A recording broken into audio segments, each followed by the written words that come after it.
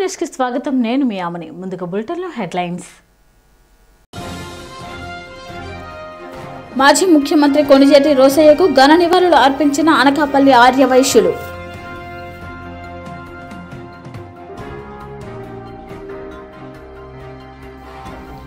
గాజువక నియోజకవర్గంలో దీపోత్సవ కార్యక్రమంలో పాల్గొన్న గాజువక ఇన్ఛార్జ్ దేవన్ రెడ్డి.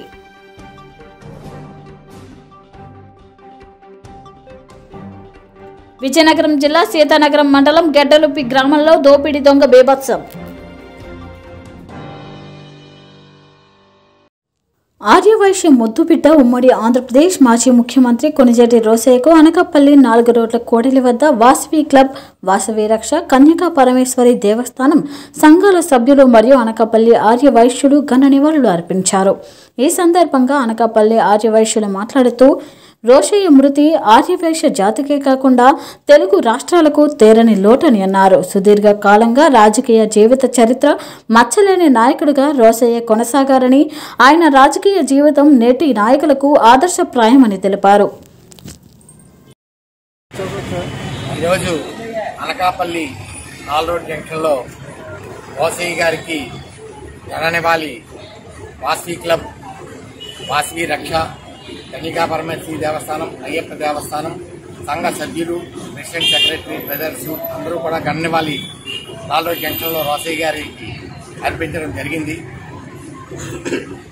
ఆంధ్రప్రదేశ్లో మచ్చలేని రాజకీయ నాయకుడు ఎవరైనా ఉన్నారంటే మన కొనిజేటి రోషయ్య గారే. పార్టీలకు అతీతంగా ఏ పార్టీలోనైనా రోషయ్య గారంటే మంచి పేరు మంచి వ్యక్తి మంచి వ్యక్తి అని పేరు ప్రతిష్టలు ఉన్నాయి.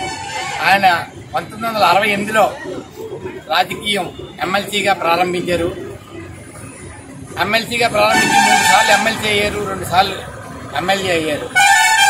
పద్దెనిమిది సార్లు ఆ ఉమ్మడి ఆంధ్రప్రదేశ్ రాష్ట్రంలో బడ్జెట్ ప్రవేశపెట్టారు. పద్దెనిమిది సార్లు కూడా ఐదుగురు ఆరుగురు ముఖ్యమంత్రుల దగ్గర మంచి పేరు ప్రతిష్టలు సంపాదించి పద్దెనిమిది సార్లు బడ్జెట్లో కూడా ఏ సంవత్సరం కూడా లోటు బడ్జెట్ లేకుండా ఆయన కేటాయించిన ప్రతి శాఖకి కూడా ఆ మంత్రులతో ఇదిగో ఈ శాఖ ఇంతే ఉంది ఈ ఆరు నెలల. మచ్చలేని రాజకీయవేత్త మరి ఉభయ ఆంధ్ర రాష్ట్రాల్లో కూడా ఉభయ తెలుగు రాష్ట్రాల్లో కూడా ఎంతో పేరు పెట్టారు వివాదాస్పదం కాకుండా ఎక్కొచ్చిన నిజాయితీగా పరిపాలించిన ముఖ్యమంత్రి శ్రీ రాజశేఖర్ చనిపోవడం చాలా బాధాకరం. ఆయన వయసులైనప్పటికీ కూడా వయసుకే కాకుండా పేదవాళ్ళందరికీ కూడా ప్రభుత్వం అర్థేటట్టుగా ఎంతో కృషి చేశారు వైఎస్ రాజశేఖర రాజశేఖర రెడ్డి గారు హయాంలో పేద ప్రజలకు ఎంతో కూడా మేలు చేశారు. వైఎస్ రాజశేఖర రెడ్డి గారు కూడా చీఫ్ మినిస్టర్ అయిన తర్వాత ఆయన సత్యంపేట వచ్చినప్పుడు రోషి గారు ఎక్కడున్నారు ఎక్కడున్నారు పిలిచి రాజకీయం గారు పక్క వస్తే సంతకం పెట్టలేదు. ఆయన ఆర్థిక మంత్రిగా ఉన్నారు. చాలామంది రాజశేఖర రెడ్డికి ఏమంటే ఎక్కడికి వెళ్ళినా సరే పేద ప్రజలకి ఏదో విరాళాలు అనౌన్స్ చేసేయడం స్కీమ్ అనౌన్స్ చేసేది అలవాటు. ఎవరో విలేకరులు అడిగారు మీరు రాష్ట్ర ఆర్థిక పరిస్థితి చూడకుండా ఎందుకని అలా అనౌన్స్ చేస్తున్నారంటే నాకేమంటే రాజశేఖర్ గారు ఆయన చూసుకుంటారు ఫండ్స్ ఎలా రావాలని చెప్పేసి. ఇబ్బంది చూడడం జరిగింది. అలాగే రాజశేఖర్ గారు కూడా మరి ఆర్కే బీచ్ సమీపంలో గల సాగరం ముందుకొచ్చింది. సముద్రం బాగా ముందుకు రావడంతో పలు చోట్ల భూమి కుంగిపోయి పగుళ్ళు ఏర్పడ్డాయి. సముద్రపు సృష్టించిన అలజడితో తీర ప్రాంత ప్రజలు పర్యాటకులు తీవ్ర భయాందోళనకు గురయ్యారు. సాగర జలాలు ముందుకు రావడంతో చిల్డ్రన్ పార్క్ పది అడుగుల మేర కోతకు గురైంది. పార్క్లో ఉన్న బెంచీలు విరిగిపోయాయి. దీంతో ఆర్కే బీచ్కు పర్యాటకుల రాకను పోలీసులు నిషేధించారు.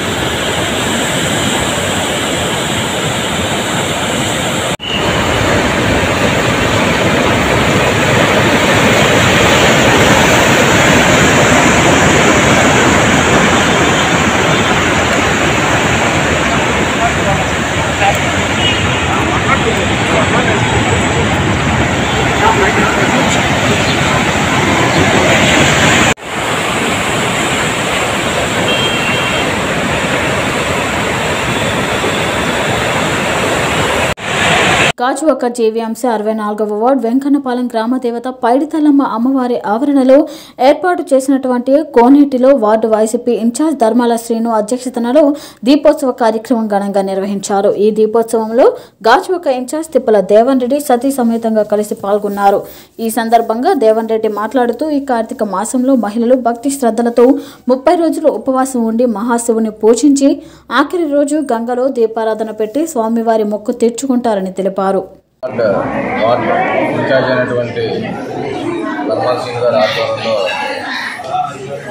మరి ఈరోజు ఈ యొక్క వెంకటపాలెం గ్రామంలో చక్కనైనటువంటి కోనేరు నిర్మాణం మరియు కార్తీక మాసం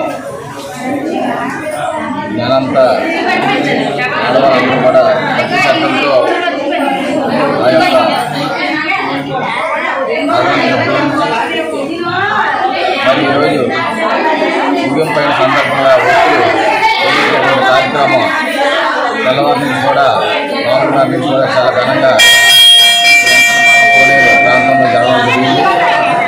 పెద్ద ఎత్తున మహిళలు పాల్గొని మరి ఈ నెల రోజులు ఏదైతే వాళ్ళు కఠోరమైన పేరుతో ఆ భగవంతుని ప్రార్థించారో ఆ భగవంతుడి ఆశీస్సులు ప్రతి కుటుంబానికి ఉండాలని కోరుకుంటూ మరి మంచి కోనేరు మరి ఇక్కడ ఈ యొక్క వెంకటమలం గ్రామంలో నిర్మించి మరి పెద్ద ఎత్తున రాబోయే రోజుల్లో కూడా ఆ కోనేరు యొక్క డెవలప్మెంట్ విషయంలో గౌరవ శాసనసభ్యులు నాగిరెడ్డి గారు మరి వాళ్ళ ఆశీస్సులు ఎప్పుడు కూడా వెంకటమలం గ్రామానికి ఉంటుందని మరి ఉన్నటువంటి ఈ యొక్క ఆలయం కోనేరు కూడా రాబోయే రోజుల్లో మంచి అభివృద్ధి చెందుతుందని సందర్భంగా తెలియజేసుకుంటూ కూడా పాల్గొన్న భక్తులందరూ కూడా పేరు పేరున నమస్కారాలు తెలియజేసుకుంటూ భగవంతుడు ఆశీస్సులు కుటుంబానికి ఉండాలని కోరుకుంటూ సెలవు కార్తీక మాస శుభాకాంక్షలు. ఈ యొక్క కార్తీక మాసం నెల రోజులు కూడా ఆడపడుచులందరూ కఠినమైన ఉపవాసాలతో ఈ యొక్క కార్తీక మాస దీక్షలు చేయడం ఆనవాయితీగా వస్తున్న మన సనాతన సాంప్రదాయం. ఈ సాంప్రదాయానికి అనుగుణంగానే గతంలో ప్రవహించే చెలయేర్లు నదుల్లోని ఈ యొక్క కార్తీక మాసం ఆఖరి రోజైన రోజు అని అనుకుంటుంటారు మన పురాణాలు ఇతిహాసాలు చెప్తున్నారు. ఆడపడుచులందరూ ఈ కార్తీక మాస దీక్ష ముగించుకొని ఈ పాఠ్యం రోజు ఈ యొక్క దీపాన్ని మొదలడం ఆనవాయితీ. దానిలో భాగంగా ఈ యొక్క వెంకటపాలెం గ్రామంలో రాజువక్క శాసనసభ్యులు గౌరవశ్రీ తిప్పల నాగిరెడ్డి గారు. విజయనగరం జిల్లా సీతానగరం మండలం గడ్డలుప్పి గ్రామంలో దోపిడీ దొంగ బీభత్సం చేశాడు. స్థానిక రజకుల వీధిలో నివాసం ఉన్న మామిడి ఈశ్వరరావు భార్య ఉమా మహేశ్వరి అక్క పార్వతి నివసిస్తున్నారు. రాత్రి సమయంలో ఇంటిలో దొంగ దోపిడీ చేస్తుండగా అడ్డుకున్న అక్క పార్వతిను బలంగా కొట్టి గాయపరిచి తులముంటావు. బంగారాన్ని అపహరణ జరిగినట్లు కుటుంబీకులు కేఎన్ఆర్ న్యూస్కు తెలిపారు. ఈ హఠాత్ పరిణామంతో వీధిలో పొరుగు పొరుగు తేరుకునేలోపు దొంగ పరారయ్యాడు. Sir sir. తమ్ముడు అనుకున్న తమ్ముడు లేచి బీరో తమ్ముడు లేచాడు. లేచేసరికి తమ్ముడు కాలనుకున్నా తమ్ముడు కొద్ది బీరో తీసేసరికి అతను చూశాను. బ్యాగ్ తీస్తుండారు. నేను కాలు పట్టాను నన్ను గోడకు గుద్దించి మొత్తం కుమ్మిశాడు. పెట్టాడు మొత్తం అన్ని బయట దొరికాయి. అక్కడ బ్యాగ్ ఇసారు సార్ నెక్లెస్ ఒక్కటే లేదు.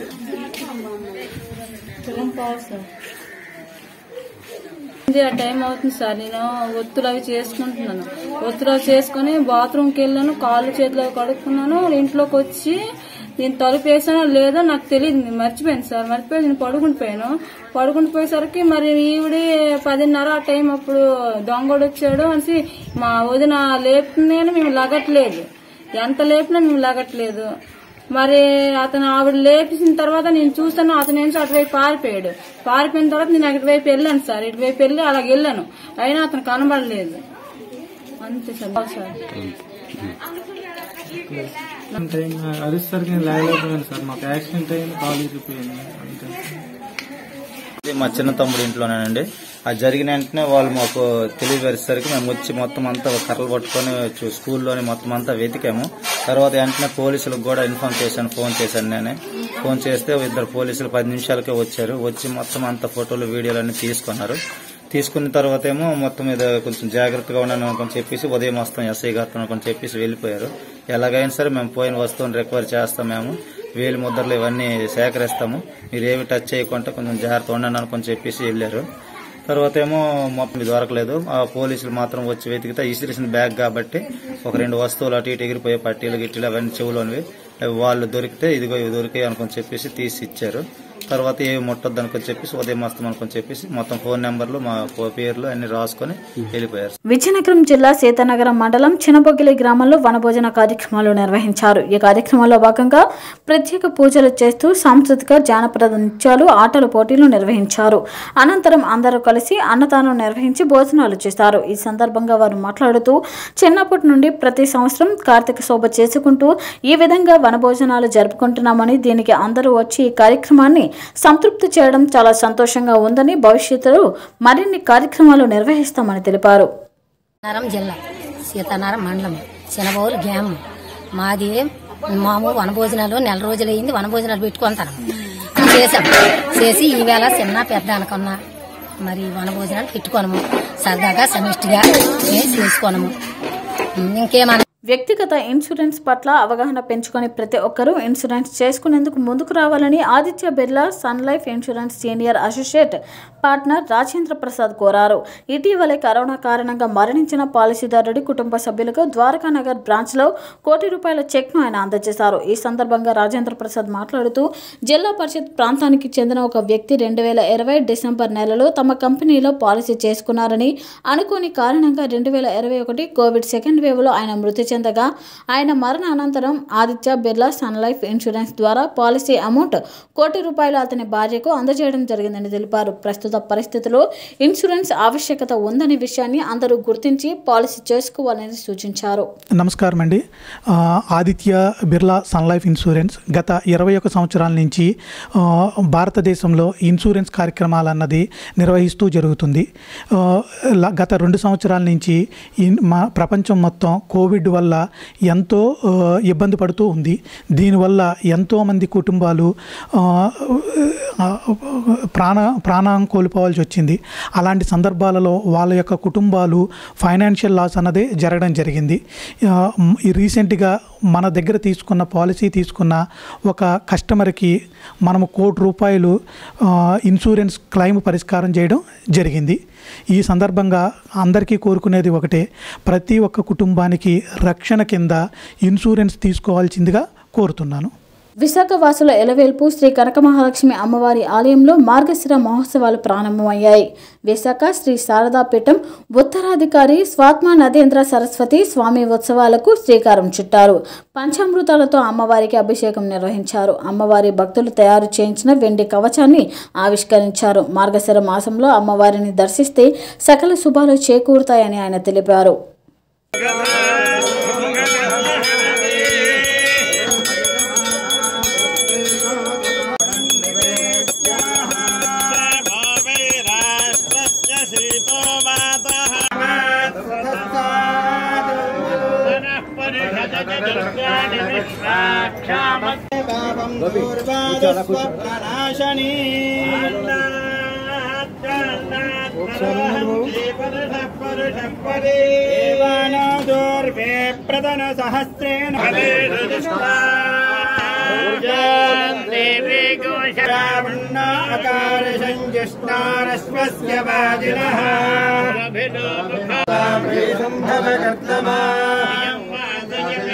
ప్రదన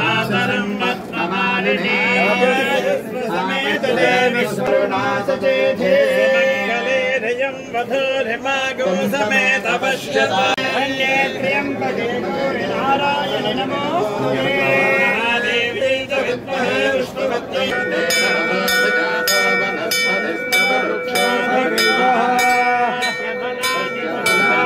మార్గశిర మాసం ప్రారంభమైన రోజు మార్గశిర మాసం అంటే కనక మహాలక్ష్మి అమ్మవారికి అత్యంత ప్రీతికరమైన మాసంగా మనం విశాఖ వాసులందరూ భావిస్తారు. ఎందరెందరో రాష్ట్రమే కాదు ఇతర రాష్ట్రాల నుంచి కూడా మార్గశిర మాసంలో అమ్మవారిని దర్శించుకోవడానికి తండోపతండాలుగా భక్తులు వస్తూ ఉంటారు. ఈరోజు మరీ ముఖ్యంగా ప్రారంభం రోజు నాడు అరవై కిలోలు భక్తులందరూ కూడా వారి కష్టార్జితంతో చేసిన వెండిని ఈరోజు అమ్మవారికి సమర్పణ చేశారు. కవచ రూపకంగా ఈరోజు విశాఖ శ్రీ శారదాపీఠం ద్వారా ఈ కవచ సమర్పణ జరిగింది.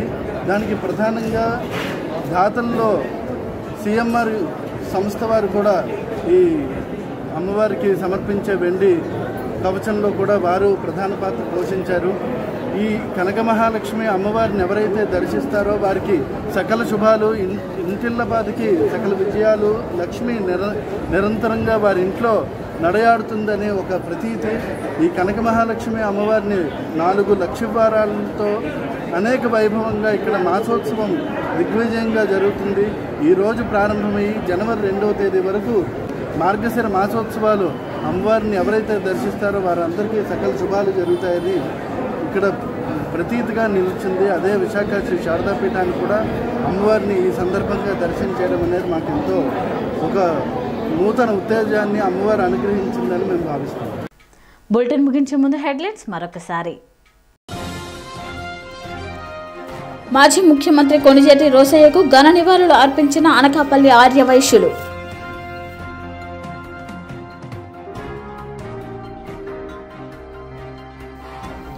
గాజువక నియోజకవర్గంలో దీపోత్సవ కార్యక్రమంలో పాల్గొన్న గాజువక ఇన్ఛార్జ్ దేవన్ రెడ్డి.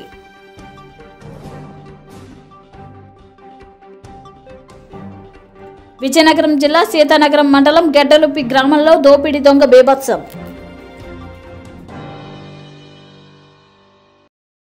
ఈ వార్తలు ఇంతటితో సమాప్తం. మళ్ళీ బులెటిన్లో కలుద్దాం. అంతవరకు సెలవు నమస్కారం.